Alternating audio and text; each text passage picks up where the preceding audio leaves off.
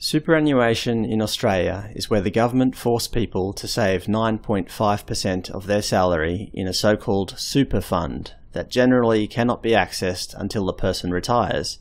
For a man in his 30s, like myself, the retirement age will be 67. There has been talk of raising this to 70, but it's hard to know what future governments will do.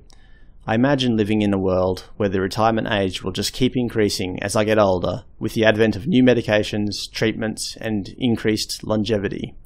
Probably when I'm 70, the retirement age will be 85 or 90, so as you can tell, I don't like the idea of governments taking my money and investing in some fanciful fund that I will potentially never have access to. Superannuation steals my money. Despite what the government say, I would be far better off investing my own money privately I know this for a fact. My super funds have performed extremely poorly over the last 10 or so years. I would have been much better off putting my money in the bank.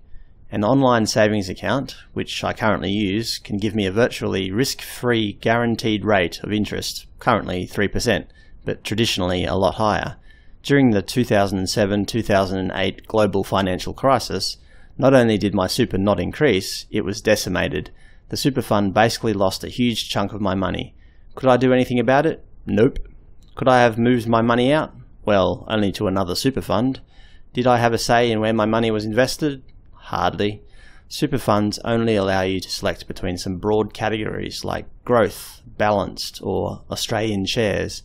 Where the actual money is invested is a hazy mystery. Nearly all investment options have an associated fee, for example, the growth category at Sunsuper has a base fee of 0.39% per annum and a, a performance fee of 0.09% as at June 30, 2017. Most super funds also have a cash option, that is, they put your money in the bank, something that I could easily do myself. However, almost all super funds have a monthly or weekly upkeep this is an extra fee that customers must pay in order for the super fund to manage your account. It generally increases every year and they receive it regardless of their performance. If they lose most of your money, tough luck. You will still have to pay them the base fee as well as the upkeep. It's basically legalized theft. Superannuation steals my freedom. Not only does compulsory superannuation steal my money, it steals my freedom. By forcing people to give up a tenth of their salary to invest in some mysterious investment option, you are robbing them of their freedom. Why can't I be trusted to invest my own money? Why must the government force people to put their hard-earned cash into an underperforming black hole for 35 or 40 years? The government would have us believe that the main reason they need to force us to save is that it takes pressure off the pension system. In Australia, once you reach retirement age, you can apply for the age pension. As at June 30, 2017, the payment rate per fortnight for a pensioner with a partner is $609.30. But the problem is, at least as far as I'm aware, is that many people receive the pension as well as their superannuation payments. So I can't understand how it's taking any pressure off the system. Only people with huge amounts in their superannuation would not be eligible for any pension. The average person is going to get both the age pension and some superannuation payouts. To make things worse, some employers have crushed my freedom even further. I work for a university which forces me to put my superannuation payments into a particular university super fund. Hint hint. I cannot choose otherwise, despite my protests. As I'm only working casually for the university, I don't receive much super, so pretty much all of it gets consumed in fees by the super fund. This is absolutely ridiculous. It's completely defying the purpose of superannuation. I may as well just donate a tenth of my money as a tithe to some kooky religion, because that's effectively what I'm doing now. Here's a quote from Chris Richardson of Deloitte Access Economics. While many super discussions avoid this issue, the system is, by its very nature, a restriction on individual choice.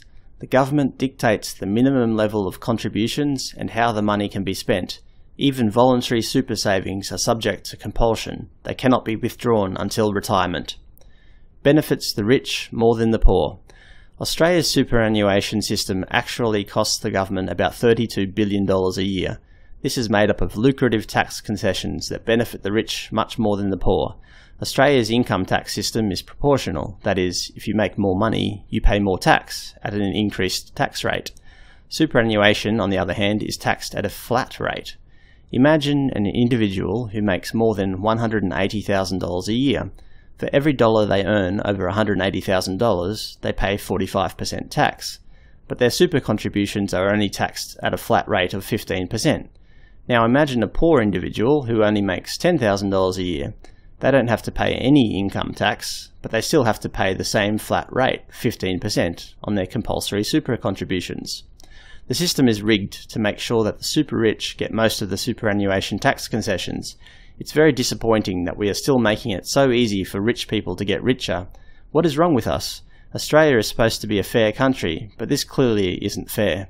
Australians are paying $20 billion a year in superannuation fees, highway robbery at its best. A quote from Dr. Richard Denniss of Australian Institute. High income earners get a tax break, while low income earners pay more tax on their super than their income. It's ridiculous. The worst part of the scheme is that any income from superannuation is entirely tax free if you're over 65. If people understood this, there would be riots. It's legal money laundering. If you can sink $100 million into your super fund and you are over 65, you will never pay tax. It's obscene. The system is broken, it's unaffordable, and there is no chance it will last for the next 40 years. The cure. The first step is we need to cut the superannuation tax concessions. They are not helping the people who really need them. How many houses or yachts do the wealthy need? Next, we need to strive for a society that doesn't require people to be forced to save for their retirement. Money has become such a god in our society that we simply can't think sensibly about true reform. The elite are always thinking, how can we modify the system so that wealthy people can hold on to as much wealth as possible before they die? It's stupid that we allow money to be the ultimate goal in our lives. It's only breeding greed and distrust. There are a couple of options. First, we could implement a basic income and do away with superannuation altogether. It's clearly not being used for its original purpose. Basic income makes it easy. No longer would we have to worry about expensive means testing, pensions, and welfare cheats. Secondly, we should strive to implement as much automation as possible. Japan is facing a major societal crisis due to its aging population. To combat this, they have been madly developing and deploying robots to help out around the home, as well as in hospitals and care facilities. We need to do the same. Many developed countries are on the verge of an aging population crisis.